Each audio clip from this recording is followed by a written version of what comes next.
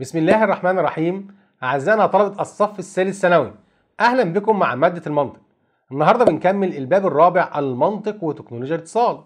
هنتناول فيه عناصر المواطنة الرقمية ودور المنطق في تطوير الحاسوب. يلا بينا نبدأ حلقتنا. طبعا في الحلقة الماضية خدنا سلبيات الروبوتات وسلبيات تكنولوجيا المعلومات. بس في نقطة لازم نفكرك بيها. إحنا قلنا إن نتيجة الإنترنت ظهرت مشكلات وجرائم زي انتهاك الخصوصية الفردية والتنصت على الآخرين وانتشار المواقع الضارة وتهديد الأمن القومي للمجتمع والسطو على الملكية الفكرية الفردية. طب دي مشكلات وإحنا شرحناها لك. خلي بالك بقى الجزء النهاردة انت خدت سلبيات الإنترنت تيجي عندك حاجة اسمها دور فلسفة الأخلاق في مواجهة التكنولوجيا. دور الأخلاق؟ لا دور فلسفة الأخلاق. بمعنى عندك أخلاق عملية الأخلاق العملية تتعلق بالخير والشر فإن مهمة فلسفة الأخلاق مع التكنولوجيا تكمن في ألف نحلل الجوانب السلبية والإيجابية لتكنولوجيا المعلومات.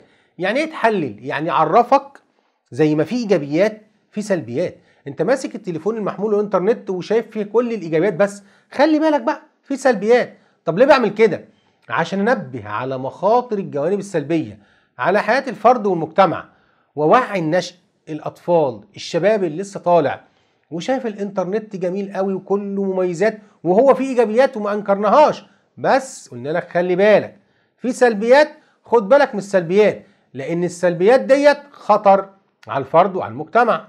طيب هنعمل إيه كمان؟ قال لك السلبيات ديت قد تكون سلاحا لتدمير الوطن والشباب. نشر الشائعات ما هو عن طريق أيضا وسائل التواصل الاجتماعي. وعن طريق الإنترنت. زي ما قلنا إن التواصل الاجتماعي بيعمل تفاعل اجتماعي ويعمل تواصل مهم جدا. خلي بالك من إنه قد يكون سلاح لتدمير الوطن والشباب. التأكيد على أهمية الوازع الديني. يعني إيه الوازع؟ يعني المانع.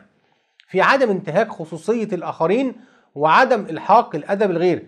في شاب بيبقى مبسوط قوي يجي يقول لك بص ده أنا اشتغلت هاكر وأنا هكرت تليفون البت فلانة وعملت هاكر على إيميل البنت ديت وعملت وعملت. لا ربنا سبحانه وتعالى حرم التنصت حرم التجسس. التجسس ده أصلا حرام. فوأنت بتبقى قاعد على الإنترنت أنت مع نفسك محدش شايفك. فالحاجة اللي هتمنعك هي الدين. إن أنت عارف إن ربنا سبحانه وتعالى شايفك. إنما ممكن قانون تهرب منه. عامل أكونتات مضروبة عامل أكونتات فيك. الناس ممكن ما تشوفكش. وبالتالي التأكيد على احترام الثقافات. مش معنى احترام الثقافات وإن أنا أنفتح إن أنا أفرط في قيمنا الأصيلة يبقى التأكيد على احترام وتعدد الثقافات والاستفادة من هذه الثقافات ولا يعني التفريط في قيمنا الأصيلة. الصورة اللي أمامك الآن بتعكس لك. شكل الإجرام كان زمان مجرم معين. النهارده المجرم ده ممكن يكون قاعد على كمبيوتر معين. الكمبيوتر ده يقدر يعمل جرائم كتيرة جدا. فبنأكد على دور فلسفة الأخلاق نعرفك الجوانب الإيجابية والسلبية وأهمية الوازع الديني. طب أنا إزاي أتعامل؟ أنت خدت معايا السلبيات. قلت لي السلبيات ديت ودور فلسفة الأخلاق اتعامل إزاي؟ ما تقعدش تكلمني عن المشكلة وتعود في حياتك. ما تقعدش تكلم حد عن مشاكل مشاكل بدون حل. لما بكلمك عن مشكلة بقول لك بص المشكلة اهي شوف خطورتها وادي الحل بتاعها. فكيفية التعامل مع الصور السلبية لتكنولوجيا المعلومات حاجة اسمها المواطنة الرقمية. يبقى أنت اما يقول لك كيفية التعامل مع الصور السلبية لتكنولوجيا المعلومات المعنى الثاني المواطنة الرقمية. المواطنه الرقمية ليه سميتها مواطنه رقمية؟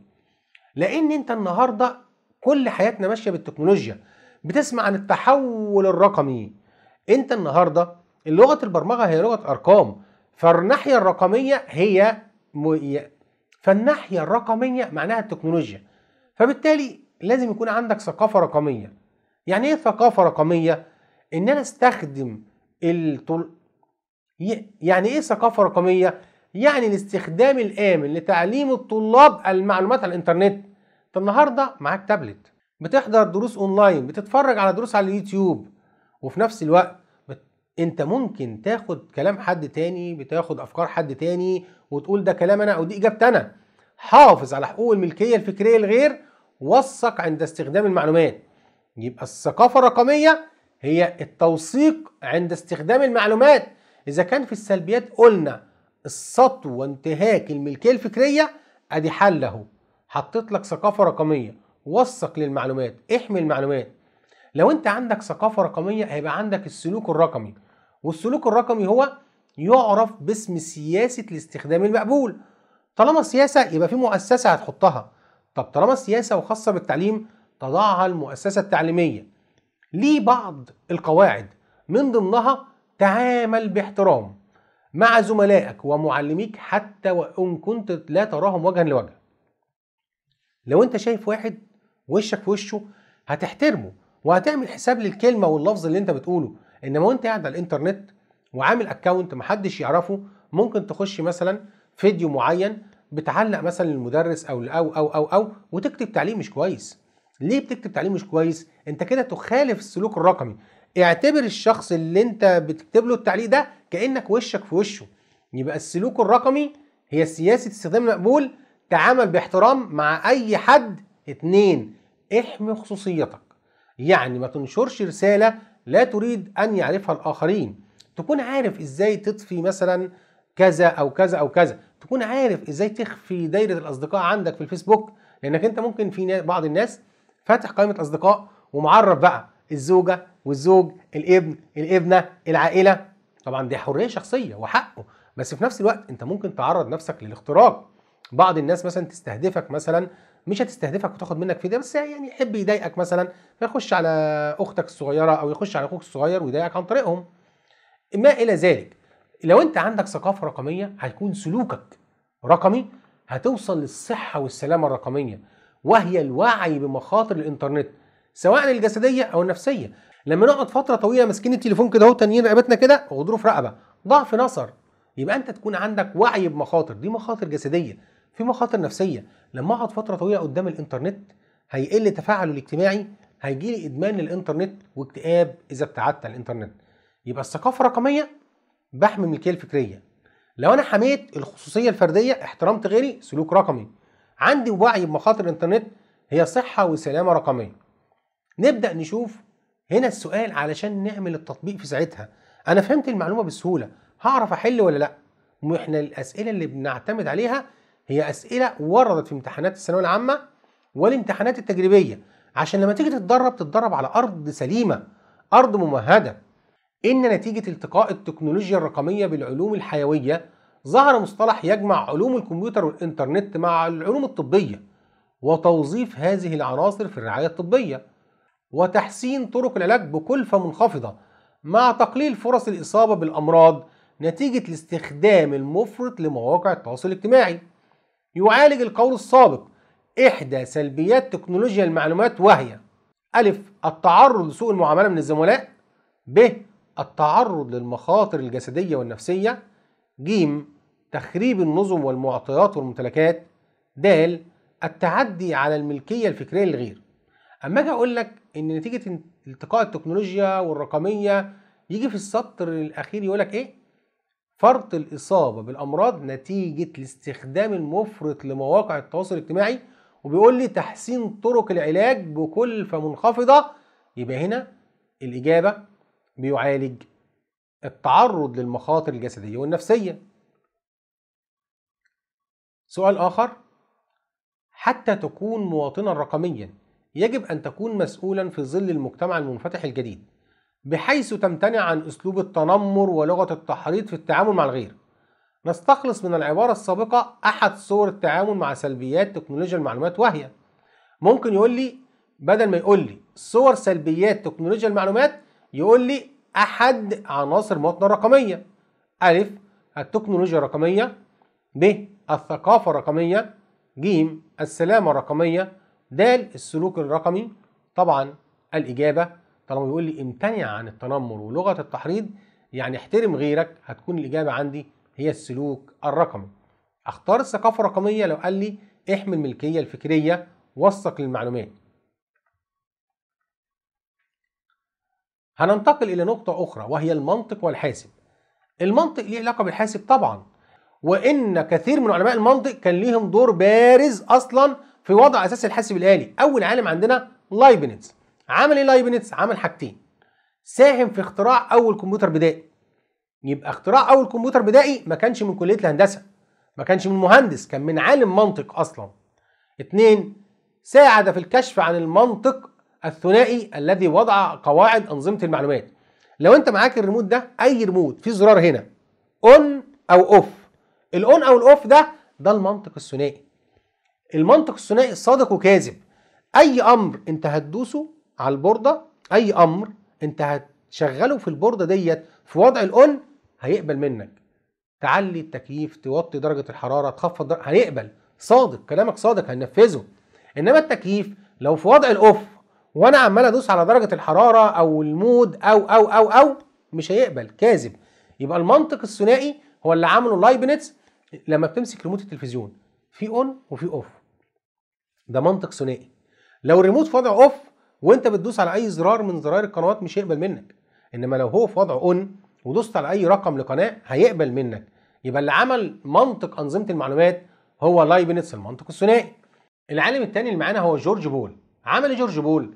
بص على الشاشة الآن شفت الصورة اللي معاك دي؟ هنا ضربت الشرط سهم رايح. قلنا لما كنا بنلاقي في بداية الجملة إذا نقول قاف سهم رايح لام. أو عندك ده رمز التكافؤ أو أو دي الصيغ الرمزية. جورج بول عمل جبر المنطق. جبر المنطق أدي اهي رابط الوصل وده الفصل وده التكافؤ.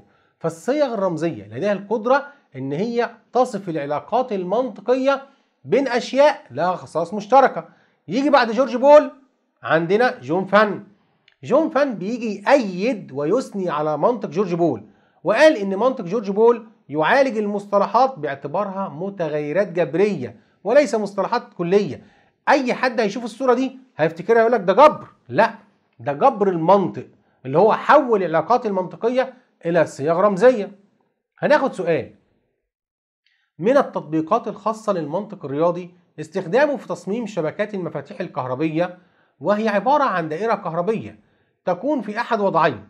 الأول يمرر التيار الكهربي بالدائرة والثاني لا يمرر التيار الكهربي بالدائرة.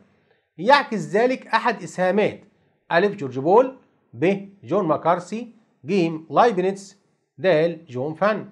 هنا بيقول لك وضعين يعني عمل المنطق الثنائي طبعا الإجابة لايبنتس لأن جورج بول هو عمل جبر المنطق. سؤال آخر أحد أشكال المنطق الرمزي والذي يبين كيفية عمل أدوات الربط المنطقية.